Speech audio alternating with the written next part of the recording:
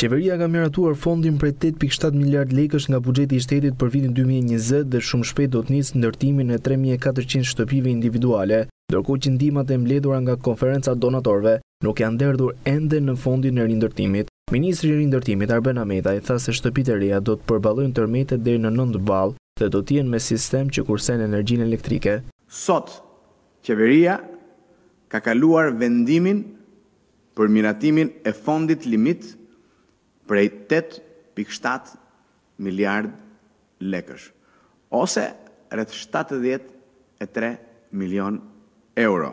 Fondi Shqiptar i Zhvillimit do të ketë një fond të alokuar për shtëpitë individuale prej gjashtë pikë njëzet e tetë miliardë lekë janë dy mijë e pesëqind shtëpi, banesa individuale, që do të ndërtohen nga Fondi Shqiptar i Zhvillimit. Për Bashkinë e Tiranës, fondi është në masën dy pikë dy miliardë lekë dhe bëhet fjalë për tetëqind e tetëdhjetë e nëntë njësi apo shtëpi individuale që do të ndërtohen nga Bashkia e Tiranës. Ministri tha se katër mijë familje do të presin vitin e ri në shtëpi të reja. Ahmetaj sqaroi se donacionet e huaja të mbledhura në konferencën e donatorëve nuk janë ende në fondin e rindërtimit. Ai tha se është ngritur një grup pune për tërheqjen e tyre.